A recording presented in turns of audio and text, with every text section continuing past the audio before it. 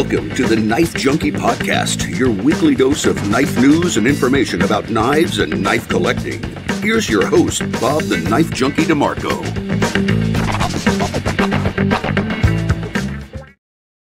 Welcome to the Knife Junkie Podcast. I'm Bob DeMarco. On this edition of the show, I'm speaking with Donnie B. All Day. Donnie is a knife reviewer on YouTube and a knife designer in the real world. His creations are available made to order from the Kukri House in Nepal. And he has a love of big knives, big beastly bowies, and other types, like his recent Arkansas toothpick, which some call a short sword, but they are wrong. It is a big American knife and a butte. He can also throw anything with a point and make it stick. In fact, D-Bad's YouTube shorts are responsible for rekindling my interest in knife throwing. And actually, uh, if I do say so myself, I've been doing better than ever. So much so that my daughters are asking me to teach them. I've been watching them on YouTube for a while, and I've been looking forward to meeting Donnie for quite some time and talk knives. But before we do, be sure to like, comment, subscribe, and hit the notification bell, and download the show to your favorite podcast app.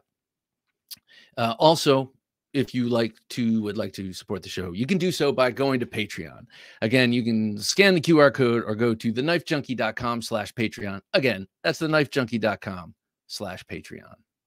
The Get Upside app is your way to get cash back on your gas purchases. Get Upside is an app you put on your smartphone, and whenever you need to get gas, search your area for savings, claim your discount, fill up your tank, and then take a picture of the receipt with your phone. And that's it. You've just got cash back. Visit theknifejunkie.com forward slash save on gas to get the app and start saving. Again, that's theknifejunkie.com slash save on gas. Donnie, welcome to the show, sir. Yes, sir. Yes, sir. It's it's, it's real good to have you and real good to meet you. And uh, you know, just just for so everyone knows, I first came in contact with your channel uh, on one of those um, I don't know, in, insatiable tears for one certain kind of knife, and for me, that's the Bowie. And uh, I've I, I come in and out of different phases. Uh, I'm I was in a real heavy Bowie phase recently, and um, but the last Bowie phase, I started watching you, and um, you obviously have a love of this. Um, yeah, I do. I do. Yeah.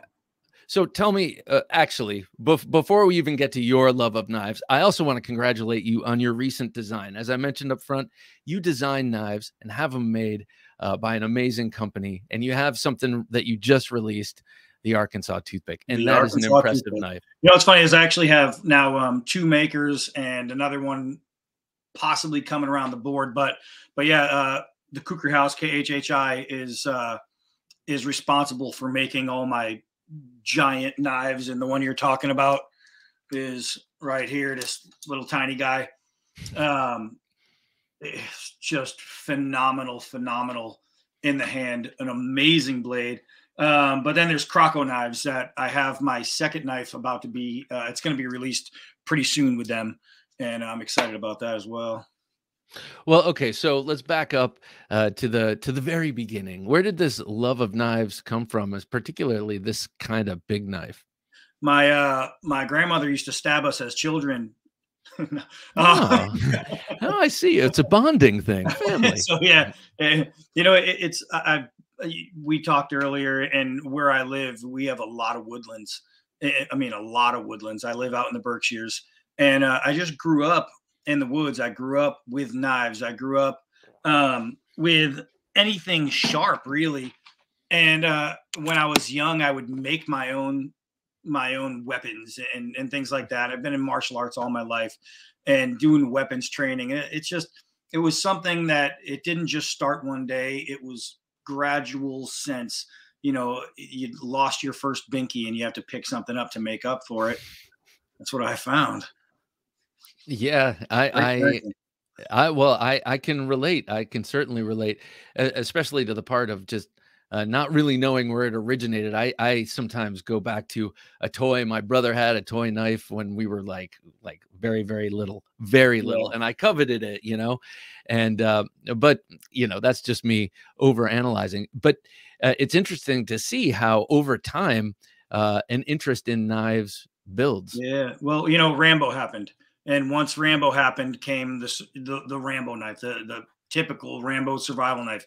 And then the late 70s, early 80s, we had these hollow handled pieces of crap that had a nut that held on a little screw in the bottom that broke and loosened every time you used it. And uh, it's just it, the passion just ignited uh, thanks to Rambo. That very first first blood knife did it all. It, that's that's that's what that's what took me from just really liking knives to to really having a passion for them. Uh, you know, it was very. Uh, I mean, me too. Uh, for me, it was First Blood Part Two. Um, uh, Rambo, the first one, I, I, I didn't quite see uh, in the theater. I did, I just didn't see it at the time. It didn't uh, wasn't exposed. But Rambo Two, First Blood, Rambo First Blood Part Two. Anyway, in, in any case, the thing that really bummed me out about uh, the popularity of the hollowed handled knives that came out shortly after that. And you remember it's got a bottle opener cut into the back yeah. of the blade, very yeah. cheap with a saw blade clip point. Uh, was that it looked nothing like the actual Rambo no, knife. All, all, it had in common end on it. It yeah. was just a steel handle. The the compass on the uh, I was on the outside, and just, it was a bubble compass yeah, and the way you were so saying, horrible. it was a zero tang with a nut. You know, yeah, like yeah. Held That's all it was was a little screwhead. So, uh, so you saw these movies, and uh, and and so that's when you started really getting into them and collecting. And I thought I'm already jumping out of trees. Why not do it with a knife? So, you know, perfect. yeah, yeah. I mean, amen. And what what could what could speak to like independence more than that? Right, right, exactly. I mean, he was so independent. I mean, they threw him in jail, then he was stuck in a cave. He was so independent. yeah, yeah, right. So, okay, before we get to how you how you design and kind of what where it where it comes from and what your process is, uh, you served in the military, correct? Yeah, yeah, man. I, I was a U.S. Army man. I'm a nine year combat vet and all that jazz. Two time decorated American hero and and uh, I got to, I got to to get my swing of things going on. You know. Yeah. Well, so thank it, you. It was fun. It was fun. On behalf of uh, on behalf of me and my family, thank you for your service. Well, on behalf um, of me and me, it was all pleasure. well, yeah, I'm glad. I'm glad you could derive that. So, I I am imagining that your experience in combat um, must really have shaped. Um, I don't know. There must be a before combat and after combat idea of the ideal knife. Um, do you, can you track track that? No, uh, hmm. um, no. Eh, the the knife I was issued isn't something I would have chosen, but once I got it and used it, then I'm really glad I had it. But my, my knife mind before going to combat was already was already there. I mean, I went in late um, I did 12 years of law enforcement. I was a rescuer at Ground Zero in New York, and oh, it, I burned my eyes, my feet, my hands, and my lungs at Ground Zero. And once I healed up, I I healed up at 35 years old. I joined the army immediately and um, volunteered for combat, and that's how I ended up there. So I already had like a, a world of experience going into it. Um, you know, I, I guess I'd say if my my the way I saw knives change probably was because I was a Boy Scout early on. And you go from this is a badass knife to okay, this is how I start a fire. And so that's when it really started to click. You know, it was when I was younger. So, um, I, I in law enforcement, I'm not even sure how. You know, I know a lot of uh, police officers through my job, and they carry folders uh, mostly. But yeah. so how how is a, a law enforcement officer? Um, you you said you're a policeman, police officer. Uh, I was a constable, and I was a park ranger even. Oh, cool. Yeah. All right. wild, fun job. I bet, man. Especially I was an animal control officer, and um, I was a bounty hunter. oh, yeah, which really? which bounty hunting, I have to say, of all of them was next to next to animal control. It was probably the second most fun. Bounty hunting. My last um, my last bounty hunt, um, the last thing I had to serve was in uh, in Spanish Harlem, New York, and uh, we went out there with a team, and it we just had a blast chasing this guy down. It was it was ridiculous, but we got him. Well, well, okay, okay, okay. What is it like? I don't, I don't think, um, I don't think I've ever met a bounty hunter in real so life. this is what it's like. It's really boring because you're just looking. You're looking for him, looking for him, looking for him. It doesn't get fun until you actually find him. But um, just the it, what made it so fun was the team I, I was with. Um, we had a couple guys. One guy, he's older guy. His name was Angus. This guy was like 70 years old, wore a beret. He was like all Scottish. He looked like he just came out of a parade, like a Scottish parade. and uh, he looked like that all the time. He had the big fat mustache. He was just this cool dude. And then there was my partner was with me, and and we just we just man we went at it and, and had a blast. And you know I was like I was always the guy that's going to do the tackling. I was always, you know what I mean? I was that guy. So Angus, who's 70, he just knew where to point us. And it was like point, click, go. And that's what he did. He just sent me loose. He's like, that's the one. And it was fun, man. It was so much fun once you got to that point. Outside of that, it was so boring. There's nothing more boring than a stakeout. Nothing. So were you uh were you doing um bef- before you actually found the guy, were you kind of doing the same sort of uh, mental legwork that um, Angus was doing, or sleuthing, or were you just kind of waiting I, around I did, for the? I did this much of the legwork, um, but I did this much of the get them. Um, it was my cuffs on them. It was it was me who made first contact. Um, but all everything like the game plan, the setup, everything was Angus. This the guy was a genius when it came to this. I was just a lackey. So, but but I would imagine you have to be tough as hell, tough as nails to do a job like that, but also have a real love for that kind of confrontation, that kind of um, you know, yeah, you, situation. You have to you have to have known what it's like to punch somebody in the face in your past and and know that somebody's going to be trying to punch you in the face real soon. But um, it, yeah, that's what makes it exciting. Is and and being a big guy, a lot of times, like this last guy, he was a stocky dude, but he was like five eight. So when he went chest to chest with me, he pretty much knew he was about to get messed up if he did so. So it actually went real easy. It was, re- I mean, the guy once he was caught, it was like, all right, all right, all right. you know, there was no. Uh, I would love to tell a special story about how he pulled out a knife and I got had to throw him against a wall and there was a big glass breakthrough. No, no, he gave up real quick, real quick. Yeah, I bet that's where um, size comes in handy. Uh, yeah, uh, because yeah. you you you might be smaller and, and able to to handle yourself, but you don't want it to have to come to to proving it. You know, if yeah, kind of walk in and, and, and and I had backup behind me, so I mean, he was he was pretty smart. He was pretty smart. He he knew he was being chased. He knew he was supposed to be hiding, and he was hiding in a uh, in a, a car rim shop. His cousin's tires and rims. Mm-hmm. It was a little tiny shop, which is crazy because walking through Spanish Harlem, it was like live chickens, live chickens, live chickens, car audio, live chickens, live chickens, car tires. It was like the weirdest thing. All the stores were set up, but um, yeah, it was uh, it was it was it was fun, man. It was fun going in. Once once it was point and click, then I'm on. That's my game. So when you're when you're doing that, um, uh, can you go armed? Can you carry a knife, or is that no? Well, uh, well, a knife. I mean, you're not really. I was. It was since it was Spanish Harlem, New York. We had to go by New York laws. Oh God! Uh, right. The only time I ever carried in New York was at Ground Zero. Um, that was the only time I went in full gear. Um, but as far as bounty hunting, no, no, no, no. You don't carry no gun, and if you have a knife, don't leave it exposed. You're just a bounty right. hunter. You have no real anything. You know what I mean? So yeah. if the police really say, I don't, they, they, can tell you, I don't give a crap what you are. I mean, you're just a bounty hunter. That's it.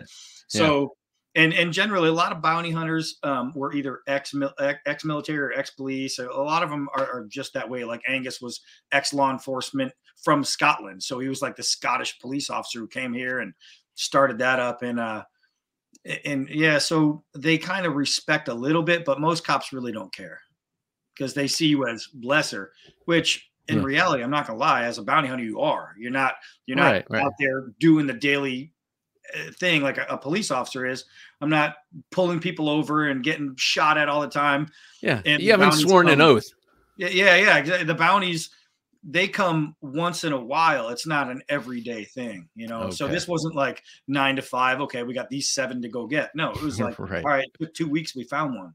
you know. Yeah, yeah. So that, that's how that went. That's uh, so. Then you go from that kind of experience, which is uh, seems like it'd be a pretty hair raising uh, kind of thing for the faint of heart, and then you go, um, and then later you're you're in combat. So um, the knives you end up designing afterward you know you you're yeah. you're you begin to do that what first of all when did you start actually designing in earnest um for my first real design was the preacher um i know i have hat. out here um and and what's special about this one is i wanted to because every every knife design out there if i pulled out this one, my Rambo 3. This knife design has been done a thousand times by a thousand people. It's nothing special. My job was just to make it better, more balanced, this and that. There's a jillion kukris. This one, obviously, a little different, but it's still a kukri, right? There's a, a lot of the blade designs that I have are historical. Um, I mean, if nobody's ever seen this, then they live under a rock. So, yeah, yeah, wait, wait, wait, wait, wait. Don, not so fast. Show this off. Let me see this thing. But yeah, continue continue with what you So were now- saying though. this is my version of the Musso Bowie, right? And my it, it was my Grail knife was a, a real Musso. The problem is they usually come with like some kind of stick or um, Mm. or a little screw job in there, and they they kind of suck in the in the handle. It's just glued on nothing or a little screw on the inside. It's really crappy. You get some kind of rat tail. So my deal was I wanted to make historically equal from here to here. I wanted it to be historically correct. And that's exactly what I did. This is actual act the actual size 100% from here to here as the original um Musso Bowie. And um I, I wanted to make sure that that was capitalized. So when I hold it and I look at it from my hand up, I'm looking at exactly what Jim Bowie would have looked at. That except mine instead of brass is steel and it's welded on, not glued on, and it's black instead of polished. That's the only difference. But it's the handle that makes this one different. It's true full tang construction, um, Micarta scales, and the contouring and the size of the handle make everything. It is completely measured out mathematically to be 100% correct. And um, that's what makes this one so special. Otherwise, it's just another Musso Bowie, to be honest. But it- it's it- this from here to here and the way it's done um hasn't been done by anybody else it's weird this camera's backwards i'm losing myself Yeah. but um so when i did the preacher the preacher this is this is a, like a one-off type design. There's every kind of knife you can think of has already been done. It's just eh, they're overused done designs but it's because they work so we're going to keep overusing them keep just now it just comes to making it better or making it your own. With this one i went with a modified predator tip which means instead of a true clipper a predator tip is straight. It's two angular lines i went with a slight curve but to Oh. bring it down just short so it's a really short clip with a really short belly so you have a small waist with a high belly but it's a three chira knife and that's these grooves right here right so the three chiras are for shock uh, to absorb shock and all that and just it, it just but what it changes on the weight and this one is the prototype and um, so you can see how really Whoa. It is. It is a big, thick knife. And what I did different is in the is in the finger choil. The finger choil is backwards, so people will get it and they'll put their finger in here and say, "Oh, it's a little uncomfortable," but it's not made for that. It's made for this, and so is the angle of the of the grip. It's made to hold your pinky in a perfect placement. So when you're grabbing the knife in a fighting position, you have a perfect grab. So what what's so special about this one is this is nobody's el- nobody else has ever done this blade design. This is my own blade design, and it's really hard as a designer to come up with something new. It's like the guy developing the next car. It's like okay, Yeah. it's four tires, it's got a hood and a trunk, it's been done. Um, so for this one, this one really set it off because I designed it for me personally. I wanted something that nobody else on the planet had, and uh, I came up with something that nobody else had. The problem is, I did a video on it saying, "Hey, check out my new knife," and then I just got tons of people. I want one. I want one. I want one. And so once I had 50 people saying that they're ready to order one, and I was giving them the design, the design to send to Kukri House, and I, I talked to the guys over there, and I said, "Listen, I said I got a lot of people asking. I said I have more designs. Why don't we just come together and, and you can do a page and you can sell my designs?" And they're instant. They were like, "Well, hell yeah!" So, so that's how it all got started. Was with this knife. This is this is the knife that literally set D-Bad Designs. It's was it was supposed to be just a personal knife. I designed it because nobody else ever had, and I wanted it for me. And um, it turned out to be really, really popular. Um, so that's it's, that's how it all that's how it all got started. That's that's the work right there. So I just I I saw that knife first on uh, Scab's channel on yeah, Choir he, Boys he's, Cutlery. He's used his more than anybody else. Beautiful. And and then um oh, well, okay, so uh there are a couple of things I want to ask from from what you were just talking about. First of all, the predator tip on that is referring to the Predator, the Predator machete that they yeah, all remember the had. machete with the straight yeah. cut and the, yes. it had a linear linear cut down instead of a swoop. Yeah. And then it was just a straight line all the way to the tip, a small cant in the line. Yeah. So what I wanted to do is I, I love the Predator tip, but I'm not so so much of a fan of linear knives. So I wanted to change it just a little bit, and it has to be had to be short. I didn't want a long one. And you see a lot of Predator tips where people cut it and cut it. So I said, how can I do a Predator tip, but to my liking, to to how I wanted it? So I just gave it a curl and I shortened it. And it's basically like taking a drop point knife. Like if I was to take, let's see, where so if I was to take this knife, which is a drop point, and this knife, you could see aside from the size, they're almost similar up until that little right. break oh, on this one, on that little break right there. Tip for tip, they're pretty close, except for that. And so it was basically a drop point knife that I changed into a clip. So I just wanted to play with it and, and just literally do something nobody else had done.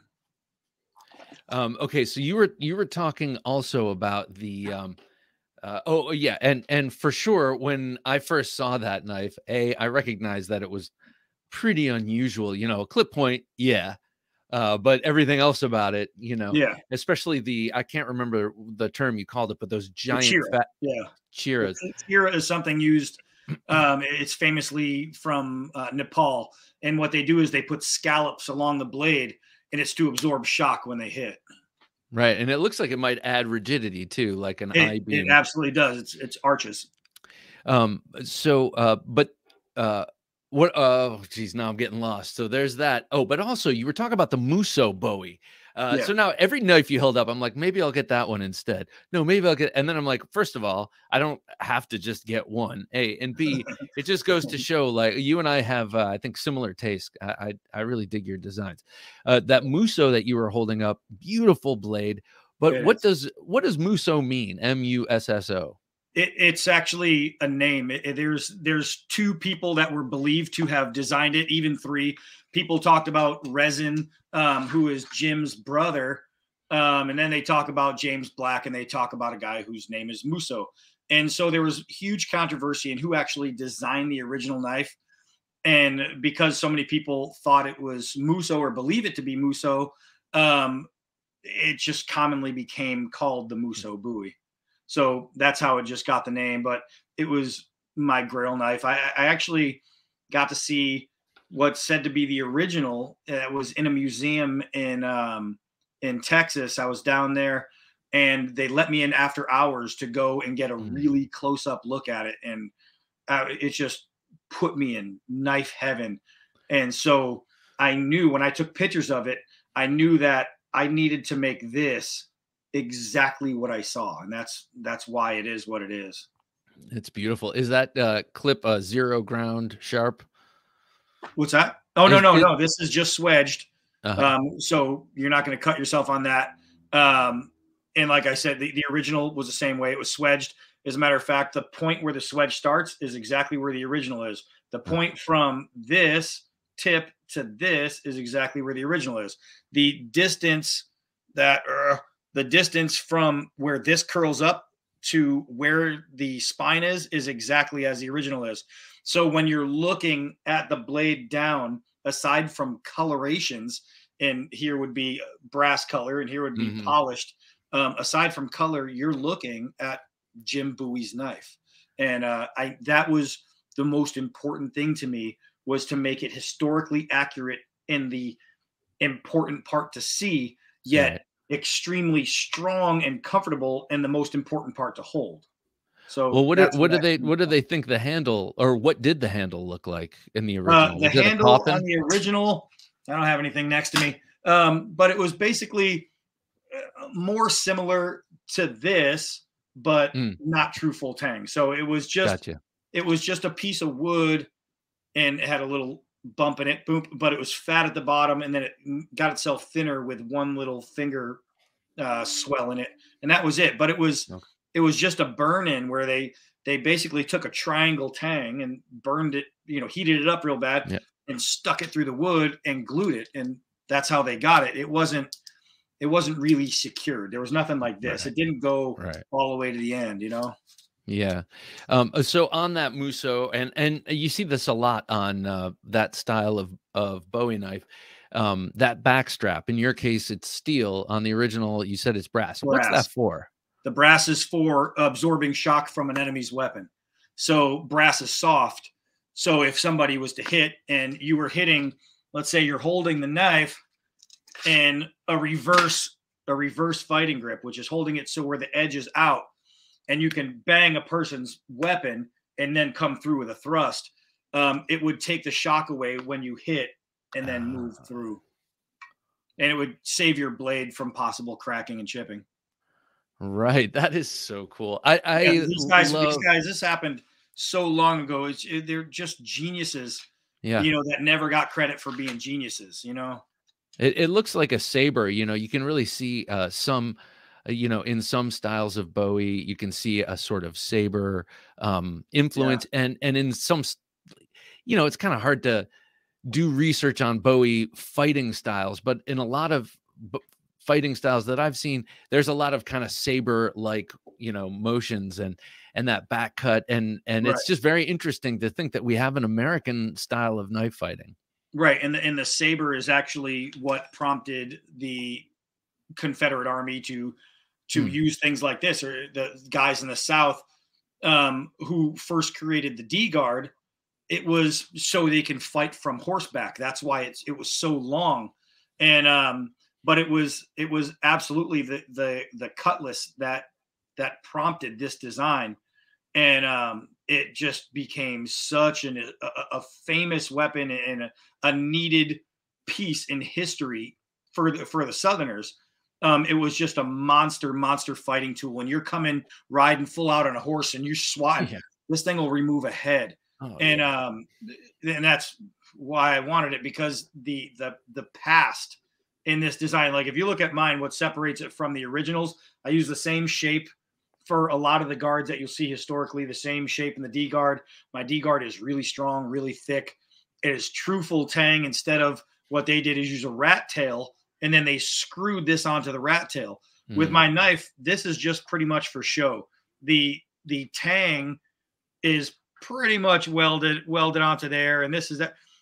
It's really because I wanted some kind of historical accuracy in the rear. I could have left it off, but it's on there just because the originals would have had some kind of little acorn nut or some kind of nut mm-hmm. to hold the knife in. Yeah. Um, but obviously this is true full tang so this knife's not going anywhere from the scales but it, it, it just needed that it just needed that realistic look and but it's also a for, force multiplier on a on a back fist you know strike. Oh too. yeah. Yeah without a doubt. It's i wouldn't want to get hit by it. Oh man. Um uh so um the oh oh uh, so you showed this is something that's very interesting to me. Uh, you showed holding the Bowie in that reverse uh, grip with the spine right. facing outward. Uh, I've heard that called the Randall fighting method because I think some some people in World War II use their Randall number ones that way, uh, right? because they all have that sharpened swedge, which right. But it, I love it, that. It, the thing is, it goes way back in history. This is yeah, like yeah, BC what, type history. And uh, so people who popularize it get to call it whatever they want.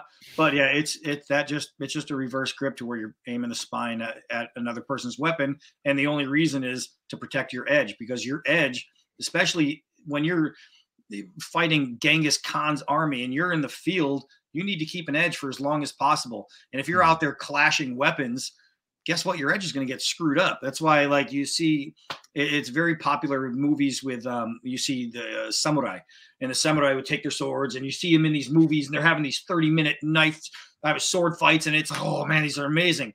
It's not how it was. Back then, with a real samurai, his his katana was his lifeline. So he wouldn't want to chance ruining it or breaking it or ruining the edge. So what they would do is block strike they would try to get a get a fight over within one to two moves any chance they could. They never had these big, long, extravagant. That's just all Hollywood.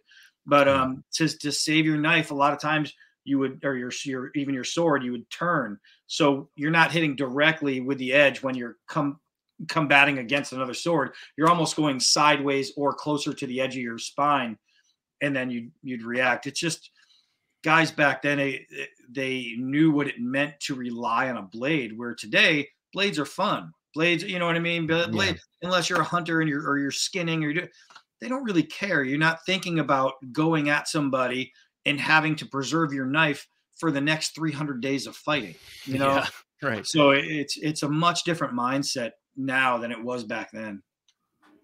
You know, I love thinking about um well, I love history and I love thinking about um you know American knives, American.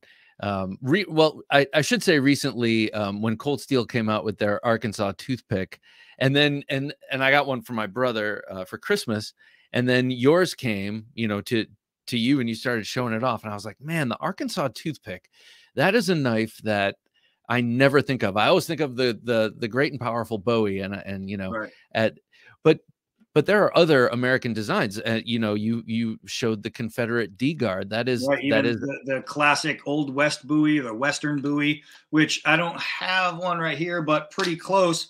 It would be this style blade, right? So you have like the the case double X and the Western 49s. Mm-hmm. These things have gone back all the way as far back as the 1800s. They wouldn't have all that. It would pretty much look like this, right? Without the rest of it. But um, it, it's a tried and true design that that has been back the 1836-ish area where you've seen a lot of these big Bowies being carried um, and, and, the the long arkansas toothpicks where you're finding you know 17 to 20 inch blades um, that's when these things really got popularized. Then when western came out with their 49 model in 1849 um, a lot of people think it started there, but they go they go a lot farther back. People even even say, "Oh, it was the Marine Raider knife." That was a hundred years after the first ones were even you know were even uh, made, and so it, it's amazing. Yeah, yeah, yeah. So it's amazing. It's exactly it. That knife right there that you're holding, that design is a lot older than people think it is, and and uh, if you do some research, you can find some some really old ones that I haven't. I don't know if I've seen any out of America that have the the exact same like handle style and all that, but mm-hmm. blade shape for blade shape, they've been out there for a long time. So the the the W forty nine is actually eighteen forty nine. That is that is. I mean, I know mine is was made in nineteen eighty. I did the research and. Yeah, no, um, wait, no, uh, sorry, 1949. It's oh, okay. I, I believe the is the Western 1949. I don't know. I know 1836 is the earliest American made one I've seen. Yeah, I think. And, I, uh, I mean, it, it makes sense now, to me. Now you got me all jacked up. I don't know if it was 18 or 19. I, I, I mean, I, I believe it uh, because I've seen, uh, you know, historical examples with blades that look exactly like this. Yeah. And then, and then the S guard you see sometimes. Um, yeah. But I mean, one of my favorite shapes. You actually did a uh, a video recently on your channel, which we will talk about. Uh, but um, you know, you're talking about uh, best EDCable Western Bowies. And I'm like, man, I like the cut of this guy's chip. You know, he's talking about uh, Western Bowies as an EDC item, you know? Love man, it. I'll tell you, if if you're gonna carry a big knife, carry the right big knife. Make uh, it good agreed. looking. You know? So so the the history part of it though, uh, you know, I was talking uh, waxing poetic about American um, his, historical knives. But in general, you know, looking at your designs, there is you see a lot of Bowies and that kind of thing. But there are other things too, like that very cool, uh, which I'd like you to show, uh, uh, sort of um, nightmare ground um, kukri. Uh, there are other things up there. Uh, and and oh. also on your on your design page on your um, YouTube. Uh, this one page. right here. So this is the um, this is the DBAD twelve thousand, and basically the Kukri House, uh, who specializes in kukris. It's what they what they did until they found me. Um, they they asked me one time. They said, "Can you design like a badass camp kukri, something that you can camp with, but it's a kukri. And I said, absolutely. So I drew up one and I didn't like the way it looked. And then I came up with this thing and I started liking it better. And and here's the deal is people have been asking me forever to do a tracker knife. I hate tracker knives. I do. I just yeah. don't like them. So because I don't like trackers and because I needed a badass kukri that was camp, I said, well, why don't I just combine them? And rather than having a hard shift here where it goes up above the shift, yeah. I went equal to it. And that way I feel better about it because it's not so ugly. And people get their tracker, the Kukri House gets their Kukri, and it pays homage to the 12,000 um, Gurkha soldiers who fought off the 30,000 British soldiers. Um, and they fought so hard and so well that eventually the British said, "Screw it, you can't beat them, join them," and brought the you know the military brought in Gurkha soldiers, and that's how that all started. So it was it was paying homage to to the twelve thousand Gurkha champions. These guys were just some of the best warriors on the planet, and um and while paying homage to them, I got to fit in a few other things like a tracker, a camp kukri, and yep. put it all together and just keep it completely nasty. It had to be radical and badass and and just tough. And I don't know. I, I think I got it there because it's sick. It's really absolutely, absolutely. And you got a westernized handle in there, and you also yeah. Got... I, I, I, went with modern material. Yeah. Um, I went with true full tang. You know, and I went away from the classic kukri grip because it had to be camp worthy, and I wanted it to be yeah. as comfortable as a grip could be. And uh, and so that's what I did. You also got that secondary point on there. Yeah. The only I have to say that my grips are, are my main focus when I when I am making a knife. My grips are everything. The only grips I have that I wouldn't put in that category are, and I know you are a Rambo 2 fan. Um, when I redid the Rambo 2, my version of it, I went with a typical round handle and I thought about going with just a nice black handle, you know, black scales, but I really wanted the I really wanted the line going across. And I don't know, I just really really had to go round. And even though I had to go round, I still made it slightly oval. It's not perfectly mm, round yeah. because I didn't want it to be shifting too much because I know 100% that you're going to get shift with any kind of round. It's just going to happen. That's yeah. part of the game. So, but when I did my John Jay tribute um, I was able to utilize some of the shape from the uh, MK8 knife from his last movie. Yeah. So I didn't have to go around. The heart stopper. Yeah. Yeah. So yeah, the heart, well, the heart stopper had that awful grip. I don't have that one with me because I bettered the grip, but the heart stopper had a sub hilt and it had oh, this jump in it. Yeah. I had to make that much better. So what this, this is a, a combination of four different movies. This represents the 10 inch blade from the second one. It is more silver, more polished, like in First Blood with green in the in the handle.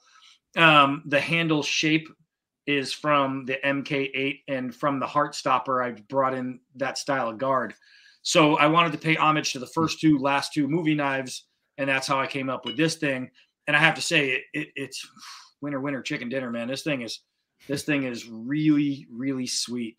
Um, great knife, but it's it's so, it's, it's an homage paying knife.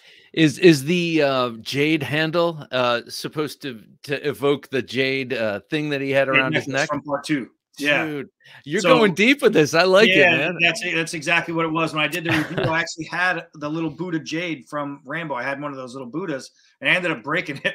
But um, Yeah, that's exactly what that was. It was supposed to be from when the Asian girl gave him the the Buddha. Yeah. So so how do you how do you design? Are you a pen and paper guy or uh, um, both? Both. Um, what I'll do is, and uh, what a lot of people don't realize that I do, and it it's makes it a lot harder. I don't use any special um, special programs on a computer. I don't have any things where uh, I draw it on a pad a lot of times, and then I'll take a picture of it, and then I'll take the picture and send it to my computer, and I'll erase the entire background, and then I'll take just the outline of what I drew, and then redraw it on your basic paint thing that you get on every computer for free. Uh-huh. That's what I use. I use paint, and I, I, I your develop all my designs look designs. your designs look pro, man. Uh, you know, it, it it- takes a lot of when- time. when you see a design of a folder, you expect to see it blown up and uh, you know blown apart and and Right. you know all the 3D and the moving parts. But when you see a um like look, that's beautiful. When That's, a you that's gonna that's being made right now by Croco Knives. That's gonna be there's okay. gonna be a first production run of 50 of those. Uh, w- what I was going to say is when you see these, you know, you know they're um they're fixed blade, and you don't need all of that. Like this, this looks really cool too. Um, what are the what are the uh, on a lot of the knives they have? They look kind of like saw notches, but I'm not sure. Are those for making traps and stuff? Or Um, a, a lot of them are a lot of them. Well, it depends on the kind. Like uh, on the first knife that you went past, it had these round ones. They're pinch serrations. So normally a serration is going to um, be single sided. So it'll go that way, and then Mhm. you'll have a point that goes one way, and you can use those are saws. This one is for decoration. That's why I did Mhm. not sawtooth it. Um, it's just an homage paid one. You can use it for um, uh, making fluff uh, with with a stick. Um, you can use it for notching things like that. But this one's just just for just for looks, pretty much. Um, some of them I make for um, wound channeling, and it's if you're going to have a wound, once you go in and you turn and you pull back, all those little teeth are pulling apart parts of skin and parts of hide that can't be fixed. The internals are getting locked in there, and you're just pulling things out of place because it's yanking on them and just it makes more of a mess. It's why with the Geneva, Geneva Convention came around, no more saw teeth on knives because it was too rough for the enemies. Oh, But we're the only ones who follow that rule, so the enemies will use anything they want. yeah, so it's right. it's really freaking stupid. So when I devi- when I designed my new one that's coming out, I did what's called a pinch serration. So the serrations go both directions. So that way it, you can use it for braiding. So if you want to make rope or line, you can tie a knot and slip it through one of the little holes, pull braid. Now you can make a stronger rope oh, cool. um, things like that. And it'll be great for wound channeling. But will it be legal for any U.S. military to carry? No, but I, that's not what I designed it for. I designed it for my perfect, like if I wanted a combat knife, what would I want in a combat knife? And that's what I designed it for. Uh, so uh, I was gonna ask you, uh, what knife would you wish you had when you were in combat and weren't The one I designing designed. And this is this one. But I gotta say, um, I, I made this one to um, to fix what was wrong with the Oh, K that's bar. beautiful.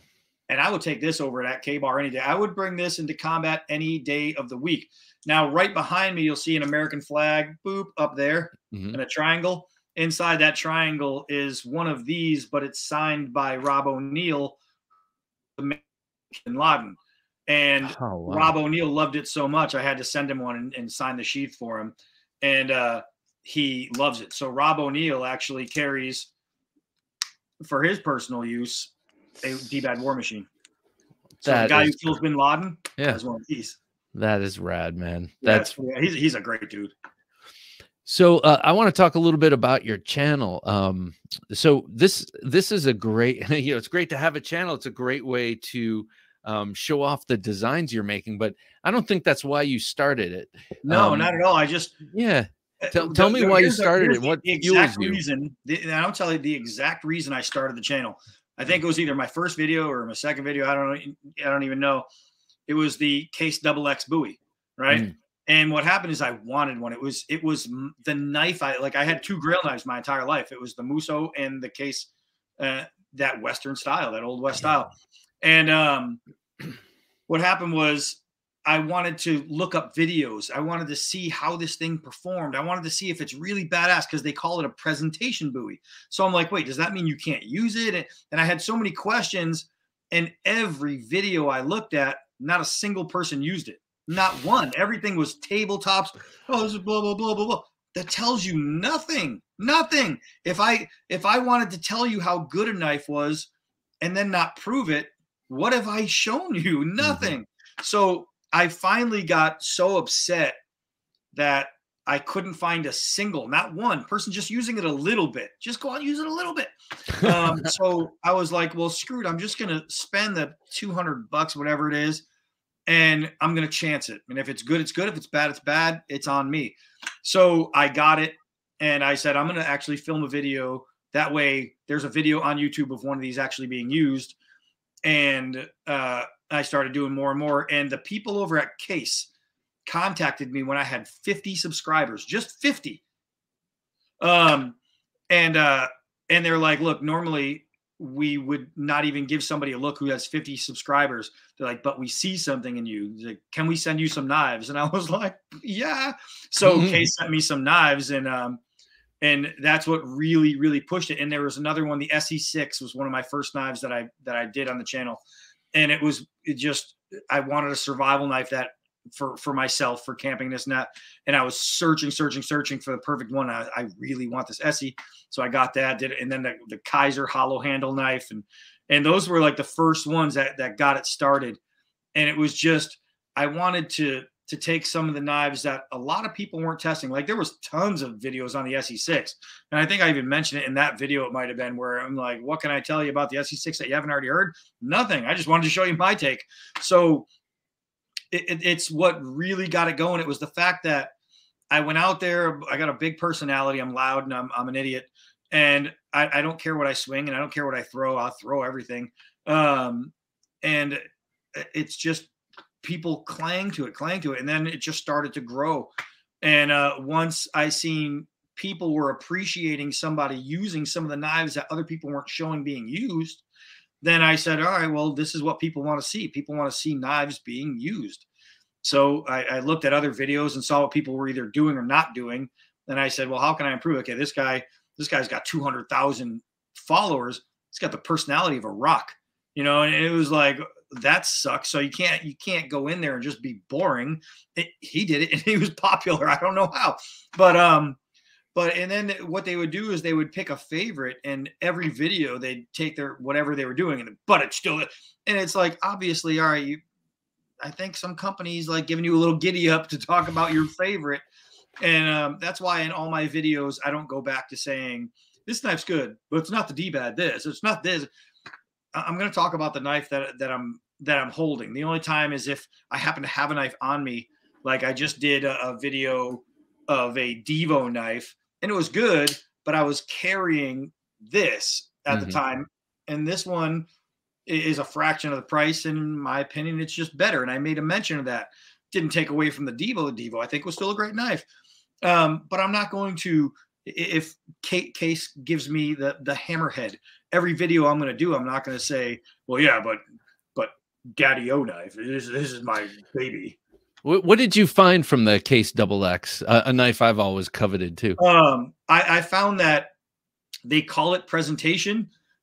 Bullshit. no, this knife is bad, man. Really? It is a serious freaking knife.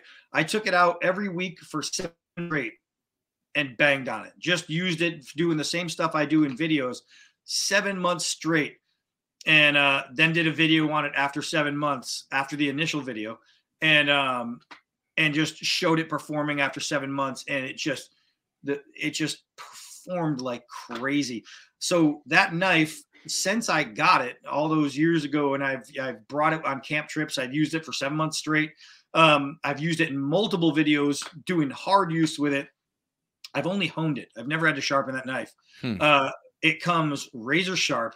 It's got an immaculate finish. The the the polish on it is amazing, and it, it's just super strong, man. It's a great knife. It's a it's not something I, I thought it wasn't going to be what it was because of how they named it. But let me tell you, it's probably one of the better of that style that I've ever used. I, okay, so I'm excited about that. I've heard other people uh you know talk very excitedly about it and it's something that you don't expect because it's case and i have a, a small collection of case i like their um chrome vanadium lines yeah. they seem to pay more attention they're, to them. they're always sharp though. They're yeah. all that when they call it true sharp they are truly sharp. They are yeah. really sharp. They hold an, an amazing edge. They do a great job on their heat treats. They temper the hell out of them uh case does a really good job. It's why they're the number one collected knives in the world you know? Plus they're so good looking and they come out with so many different um they can, you know, they can series and stuff. they can design a knife.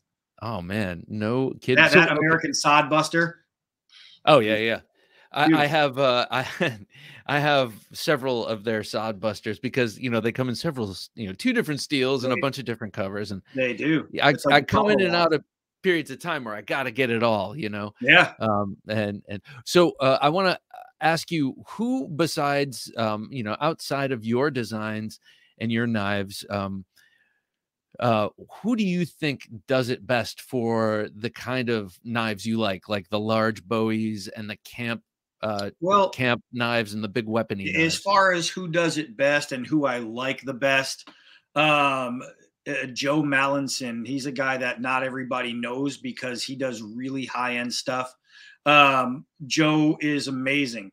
Then there's another guy, and these these I'll, I'll tell you the non-mainstreamers first. Jed Hornbeak.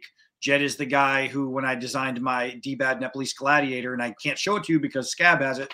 Um, he's the one who made that. He is one of the greatest knife makers I've ever seen. Lately, he's been getting more into designing different knives, and his designs are beautiful, man. They're so crisp it's like I, I love to take a knife design and say, oh, too bad it's not this. Too bad. Nope. This guy, he can design a really good knife. I'm a big fan of Jed's.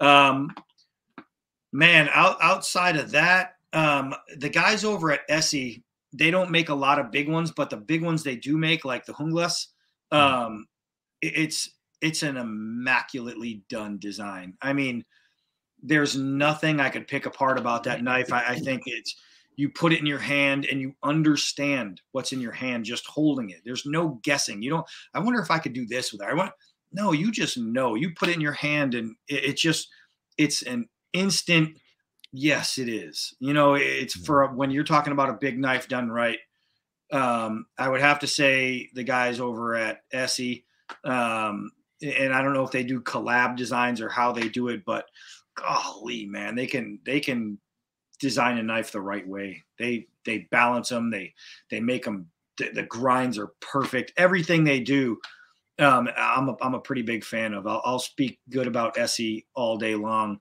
Um, and then you, you mentioned like Randall's and things like that. Some some of those high end guys, they're high end for a reason. You know what I mean? It's like mm-hmm. you, you, look at like uh, Ka-Bar. I think Ka-Bar in a whole they some really great blades, great steel, great heat treats. I think they're designing some of their handles are the worst I've ever felt. And it drives me crazy as a knife designer because it's like, why would you do this when you had this great thing going? And and it just bugs me. And then there, there's some others that come out there, and there's some guys that do this fantasy crap, and I, I don't know. So I'm real picky. Um, when it comes to designs when you're talking about big designs it's hard because i think the best big knife designers were alive 100 years ago. Mm-hmm. um, and now we're all just doing what they did over and over again just slightly different you know because uh, actually um, I, I, wasn't thinking this when i asked you the question um, but i was thinking more in terms of production houses houses production companies like cold steel and those kind of companies. But tops it occurs to me that tops seems like the kind of company that you that that could uh ex- execute one of your designs i have i have a, a, a, like i have a bunch of tops knives i'm not gonna lie i have a bunch of tops i, I really like tops um, i think personally they have the best differential heat treat in hmm. the business flat out best differential heat treat in the business um, some of their designs I have a problem with some of their grips being way too small. Um, my silent hero, the front of it, I can't get a full fist on it because I have too much of a gap between there. The Prather War Bowie does the same thing for my. It's just it's not made for every hand. And then some of them are just a little goofy looking, or they'll like uh, they call it a, the War Bowie. Like I love the I love the Prather War Bowie because I think it's gorgeous. Yeah. But when you call something combat, or it's just because you made it black, so now it's tactical, or it doesn't really make it what it is. They could have just called it like you know the the pocket Bowie or the you know what I mean. Give it a different name. But um, but yeah, so, some of their stuff, um, some of their stuff is just great to me, just great. Um, but I, I can really, really appreciate their differential heat treats. Um, I would much rather a tops blade over a cold steel blade. That being said, I will take that cold steel SRK to the grave. It's just a, a great knife. It's designed well. The the Trailmaster, the Recon Scout, just really, really good knives. They do they have some that don't make sense? Yeah they have a lot uh, they have a lot of those. The problem with cold steel though is their inconsistencies with like heat treats and things like and sharpening. Some people just get them crazy that, dull some people yeah. that seems to be a new problem. I've been collecting cold steels since the late 80s and yeah. and and and i have experienced a little bit of that recently. Um, I, i'll tell you i had um i got a natchez bowie back when you know lynn still had the company and i put it in the stump to get ready to film. I just dropped it in the stump. And when I pulled it out of the stump, the whole tip had bent over.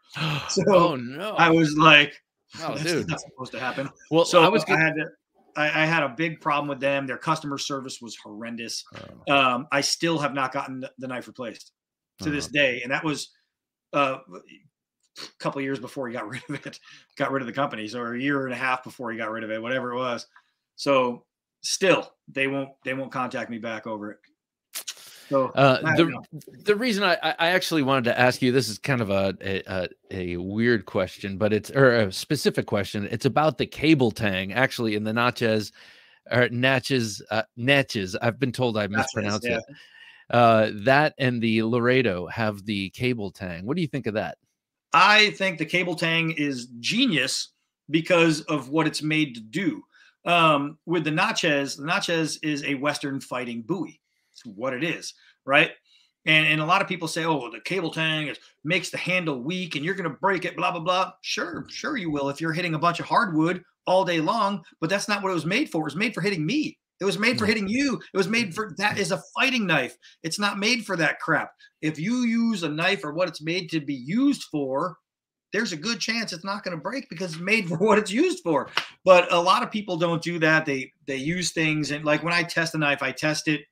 I know it's a fighting knife, but I'm going to chop a tree with it. And guess what? It, it worked. I didn't break my my tang ever on my Natchez and I've used that thing plenty of times. I I think I probably have five videos of using that thing, and I've never had a problem with the tang once.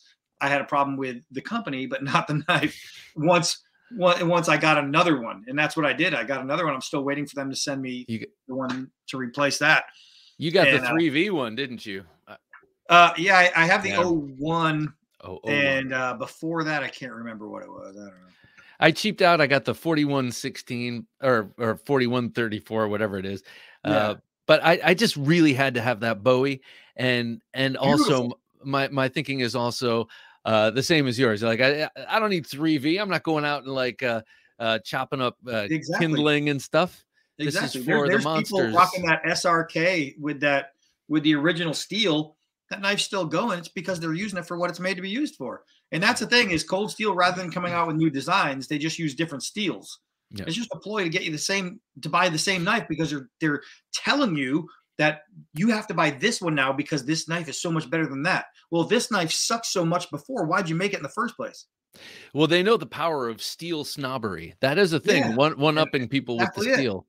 That's funny. exactly it. But it, it's funny because that same steel snob had that San Mai one for two years, cut everything under the sun, never had a problem. But because this one's M390 or the next great steel that's going to be, well, this deal sucks. I need yeah, that one. Yeah. It's, you can't it, cut I, anything with stops driving me crazy. Can't cut drive anything with 440C. It yeah, just God, God forbid it. Where you, I hear it all the time. Oh, you, yeah, you use that. Oh, that's a piece of crap. Oh, that's junk.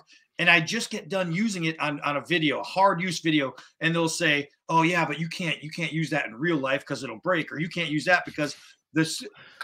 Show me where it failed. You just watched the video. Show me exactly where it failed, and I'll I'll give you a hundred bucks. Yeah, like this is and, real life.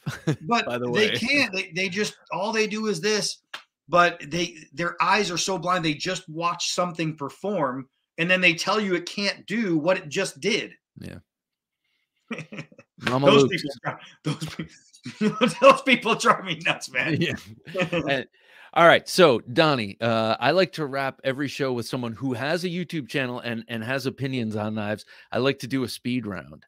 Uh, Alright. So, so uh, these are just a 16 or so quick questions and and a one word answer. oh, good. I suck at quizzes. Let's go. all right. Fixed or folder? Uh, fixed. Flipper or thumb stud? If we're Flipper. in okay. Washers or bearings? Bearings. Tip up or tip down? Doesn't matter. Tip up or tip down? It really doesn't matter, but Yeah, but you got to choose. Tip up, I guess. I don't know. See, I knew it. Conformist. I'm just kidding. Uh, Tonto or Bowie? Bowie. Come on, man. Bowie. Bowie. Uh, hollow ground or flat ground? Flat. Okay. Full guard or half guard? Uh, half. Full tang or stick tang? That's not even. That's not even funny, man. It's a full tang. After this conversation, you know, uh, contoured handle or neutral or coffin style handle? Contoured. Uh, Condor or Ontario Knife Company? Ooh, man. That depends on the knives, I guess. Ontario. I don't know. Uh, cold steel or Work Tuff? I think I know. Um, I'd go with Work Tuff for the heat treat. uh, single Cold edge or design. what's that? Cold steel has better designs, but Work Tuff definitely has a better, better Oh, built. yeah. Uh, single edge or double edge? Single. V ground or apple seed? Single Oh, yeah, yeah, right, right. Sure. sorry, what was the last one? Uh, v ground or convex edge? Uh, V ground. Finger choil or no choil? Choil. Form or function? Function. Okay, and then your uh, desert island knife. That's one knife you get to keep from your collection for the rest of your life. Everything else has to go. Everything else has to go. You know. It's not a And, and uh, okay, we, we got to take out all sentimental attachments. not a fair question, but I- I'm oh, I'm keeping this. If I have one knife for the rest of my life, I'm so- keeping something in case the dinosaurs come back. Yeah. right on. Donnie, I think that's I don't know. That's probably the one I would keep, but then again, I don't know. Each new one that you held up, I was like, mm.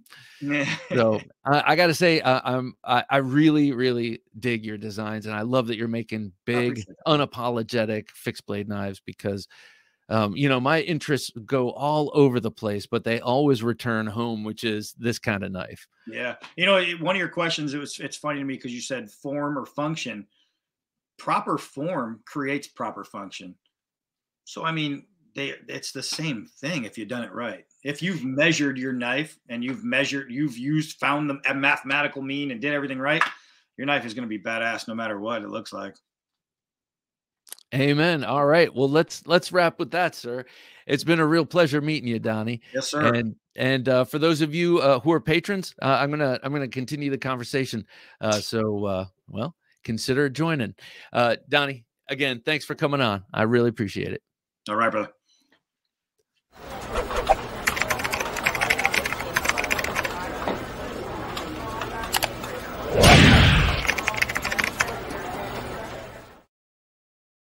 There he goes, ladies and gentlemen. Donnie B all day. Uh, the way he announces himself uh, uh, uh, in his videos, I gotta say, it reminds me a little bit of my grandpa Demarco. He was a bit of a ham, and he had a couple of voices, and a, and a few of those that Donnie does on his channel reminds me of him. All right, so uh, thanks again for Donnie for coming on this show and sharing his love of big badass knives. It was uh, a great conversation. I look forward to continuing it. Uh, join us again next week for another interview, and of course on Wednesday for the midweek supplemental, and Thursday for Thursday Night Knives, live right here on YouTube, Facebook, and Twitch, 10 p.m. Eastern Standard Time on Thursdays.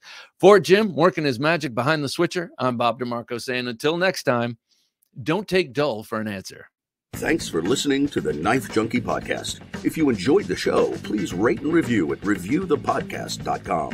For show notes for today's episode, additional resources, and to listen to past episodes, visit our website, theknifejunkie.com. You can also watch our latest videos on YouTube at theknifejunkie.com slash YouTube. Check out some great knife photos on theknifejunkie.com slash Instagram and join our Facebook group at theknifejunkie.com slash Facebook. And if you have a question or comment, email them to bob bob at theknifejunkie.com or call our 24 7 listener line at 724 466 4487, and you may hear your comment or question answered on an upcoming episode of the Knife Junkie Podcast.